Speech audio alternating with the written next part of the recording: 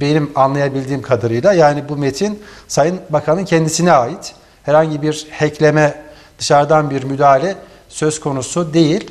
Bu bana ait bir bilgi değil. Yani bu değişik çevrelerden yani Zaten e, yine haber bazı sitelerde falan habercilerden yazılıyor. evet yani meslektaşlarımızdan e, bazı işte kaynaklara ulaşıp oralardan aldıkları bilgiler doğrultusunda aktardıkları bir e, şey bu konu bu ama dediğim gibi e, bir netleşmesini yani bu konuda bir doğrulama ya da yalanlama anlamında bir açıklamaya ihtiyaç var e, şu anda. Bu açıklama e, ne zaman yapılacak? Mutlaka yapılacaktır. Bu ilgili aktörlerden birinci. E, ya da biz artık emin olacağız. Herhangi bir şekilde bir açıklama yapıldığı takdirde başka yöntemler mesela işte merkez resmi gazetede yayınlanması gibi bir takım senaryolardan da bahsediliyor. Ama her durumda biz onu e, görüp doğrulama ya da yalanlama anlamında Sayın Bakan'ın e, görevinin başında ya da istifa ettiği bilgisini o zaman netleştirmiş olacağız. Evet, e, teşekkür ederiz Mehmet. E, bir e, başka hani kıdemli gazeteci e, işte kulislere e, ulaşma kabiliyeti olan Mahmut Övür bizlerle. E, Mahmut Övür, Mahmut abi siz e, ne dersiniz? Sizin bu konudaki e, bilgileriniz hangi istikamette değerli seyircilerimizi e, bu konuyla ilgili olarak bilgilendirir misiniz? Tabii e, elimden geleni yapmaya çalışacağım çünkü herkes merak ediyor. Herkes merak ediyor. Yani e, önemli bir sürecin içinden geçiyoruz. Türkiye ekonomik derin kuşatmalar yaşıyor.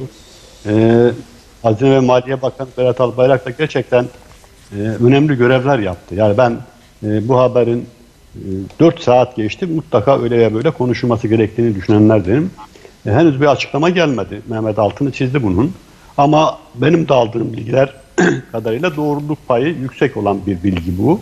O yüzden de birkaç şey söylemek istiyorum. Yani özellikle şunu söylemek istiyorum. Şimdi böyle bir tarihsel bir periyottan geçiyoruz. Bu noktalarda ben e, Sayın e, Hazine ve Maliye Bakanı Berat Albayrak, Albayrak ismini e, şey yaptığımda hatırladığımda ya da e, onu anmak istediğimde şunu hatırlıyorum. Yani birincisi enerji politikalarında yaptığı milli hamlelerdi. Bence çok çok önemliydi. O, bunu istifaya bağlamaya çalışacağım. Şimdi ikincisi 15 Temmuz'da gerçekten dik duruşuyla, tankın üzerine çıkışıyla, e, e, Cumhurbaşkanı Erdoğan'ın yanında sağlam duruşuyla darbecilere karşı ciddi bir siyasi duruş sergileyen bir siyasi aktördür. Bu açıdan da istifa etmemesi gerektiğini düşünüyorum. Onun için bunları anlatıyorum. Ama en önemlisi belki de bir ülke böyle ya böyle siyasi bağımsızlığını idare edebilir ama ekonomik bağımsızlık çok hassas ve önemli bir konudur. Ne yazık ki Türkiye bunun üzerinde fazla durmadı. Ben Berat Bey ile birkaç kez de bunu, bunu ayrıntılı bir şekilde konuştuğumda yaşadığı sürecin e, uğradığı saldırıların boyutuna baktığınızda niye saldırıya uğradığı da anlaşılıyor. Öyle bir e, konuyla karşı karşıyayız ki siyasi bağımsızlığın garantisi bir defa ekonomik bağımsızlıktır. Eğer orada bağımsızlığınızı yitirmişseniz siyasi bağımsızlık da bir anlamı, anlamı ifade etmiyor. Daha fazla video izlemek için kanalımıza abone olabilir, ilk izleyen olmak isterseniz bildirimleri açabilirsiniz.